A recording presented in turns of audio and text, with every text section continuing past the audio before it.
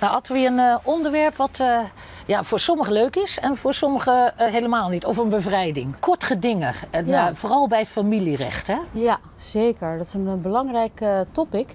Nou, een gewone rechtszaak wordt meestal procedure of gewone bodemprocedure genoemd. En die, ja, dat zijn lange procedures. Die duren meestal nou, twee maanden of jaren. Nou, soms kan je daar niet op wachten, want je wil uiteindelijk een uitspraak hebben snel.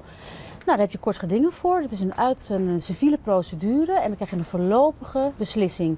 En dat kan eh, binnen twee weken, zeg maar, heb je een, eh, een vonnis. Dus dan kan je verder als je met je ex bent. Hè, dan kan je verder met de zaak. Dus eh, dat is echt heel ja, belangrijk. Maar Conchita, vertel me nou eens, waarom kan het dan bij een kort geding wel snel gaan en op de andere manier niet? Wat is het verschil? Nou, bijvoorbeeld er is geen uitgebreide bewijsvoering. Hè. Dat scheelt natuurlijk ook echt veel tijd.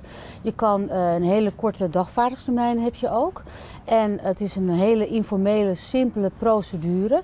En het kan zelfs gewoon op een zondag. Het kan eh, binnen twee dagen geklaard zijn. Dus het gaat heel, heel snel is dit. En een bodemprocedure doet veel langer, veel langere termijnen zijn. Dus dat scheelt, ja. Ja, oké, maar, maar op een zondag kan ik me voorstellen Ja. als het bijvoorbeeld bij, bij een, een voetbal Ja. kort geding is tussen voetballers. Maar gebeurt dat ook wel in, in jouw specialiteit? Een omgangsregeling waar het echt essentieel van belang is. Of dat een kind naar het ziekenhuis moet en de, een van de ouders wil het niet. Dan is het heel erg belangrijk dat, je, dat dat kind naar het ziekenhuis gaat. Nou, dan, kan de, dan komt de rechter uit zijn bed op zondag. Dus dat is wel heel mooi. Ja. En bij wat voor zaken is dan het kort geding in het eh, familierecht eh, geschikt?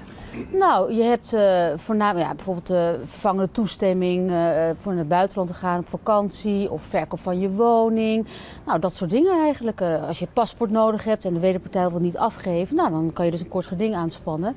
En dan kan je dat eisen in, eh, bij de rechter en dan eh, heb je je paspoort. Ja. en dat zijn dus altijd problemen, hè, zeg maar. De, de- Ja, het altijd in probleemgevallen. Ja, het is altijd probleemgevallen, Dat is altijd wel weer jammer, hè, natuurlijk. Ja. Maar als ik Ja. nu even, ik ben zelf met iets bezig hè, en er is een kort geding aangevraagd. Ja. Kan ik voordat het kort geding plaatsvindt ook nog tot een schikking komen? Ja, dat is heel mooi inderdaad. Als je een procedure hebt aangespannen, welke procedure dan ook, kort geding of wat dan ook, een bodemprocedure, je kan altijd tot aan de zitting, kun je eigenlijk nog gaan schikken. En als je er na- uit uitkomt, dan kan je dat aan de rechter aangeven. Zeg van, nou god, we zijn eruit gekomen. En dan kan de rechter dat in een beschikking opnemen. Dan heb je meteen een executoriale titel, zoals het heet.